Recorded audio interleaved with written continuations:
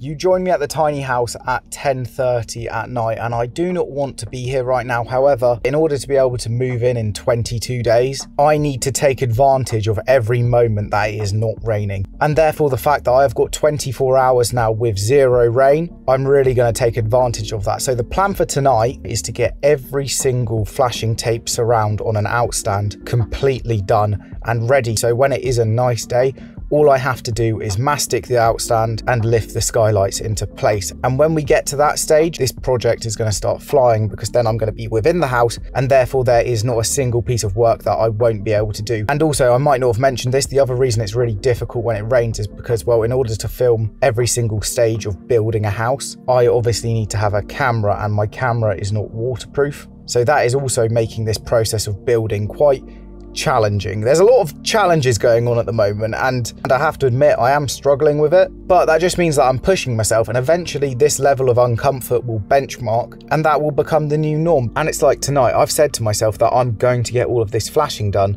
throughout the night, and therefore, I'm going to get a head start on the week because this deadline moving in on the 1st of January 2024 that is ludicrous considering the schedule that I've got. And then I started to do what I did on the London project, where I go, do you know what? YouTube's not the priority. All this stuff needs to get done. And then I kind of felt myself repeating history, where I got to the end of the London project and I was like, I never showed all of you lot all of the intricacies and all of the stuff you need to know when you're renovating and developing. And so I said, you know what? No excuses. I'm going to film every single day and upload no matter what. And hopefully proves to you lot what I'm saying where, yeah, I've got quite a lot of experience when it comes to building and I know a fair few things, but there's still moments where I'm like, wait, how am I actually going to do that? And when it comes to building a new build or renovating, the most important piece of advice I can give to you is don't try and see a perfect route to get out of the forest. Just try and aim for the next tree. And what I mean by that is think, what is the next step that I need to take? And then once I've done that step, what does that then lead to? And then also always keep in mind thinking about knock-on effects. If I do this now, what's that going to lead to in the future? I've also been getting quite a few questions on work ethic and like motivation and all of that stuff. And often I don't really know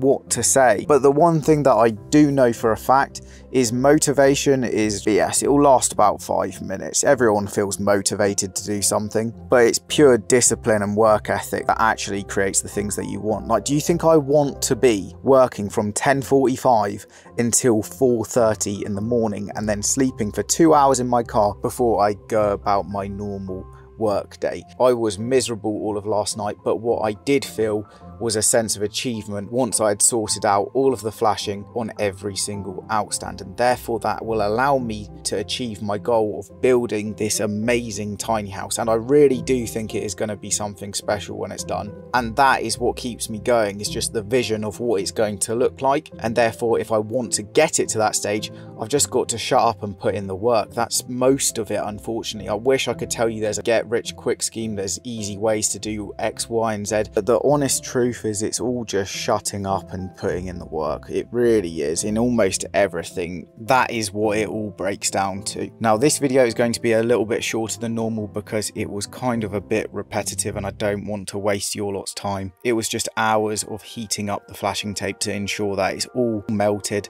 and then going along with a roller to make sure there's no air gaps. Now, as you can see in the footage, I only filmed me working on one of the outstands, but I can tell you that they are all now ready for the skylights to go in, except for the one that has got a damaged skylight still within it, because I still need to sort all of that stuff. And I thought that moving a damaged skylight around in the dark probably wouldn't have ended well. So I will do that in future. And then I've also actually got to redo all of that flashing. That's when I was doing it in super cold temperatures. So I'm pretty sure none of it actually properly stuck down. So I think that's it for this video. Thanks for watching. Please leave a like if you enjoyed it. Subscribe if you're new.